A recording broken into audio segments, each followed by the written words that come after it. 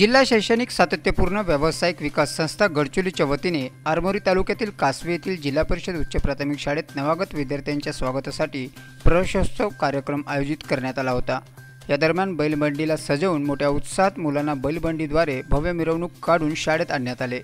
यावेळी पालकांच्या शैक्षणिक जनजागृतीसाठी डाएटतर्फे अळाणी नाऱ्या या काल्या पथकाचे सादरीकरण करण्यात आले. संजय बिडवाईक कुणाल कोवे आशिपा सिद्दीकी विजय रामटेके प्रदीप पाटील आदींनी या कलापथकाचे सादरीकरण केले.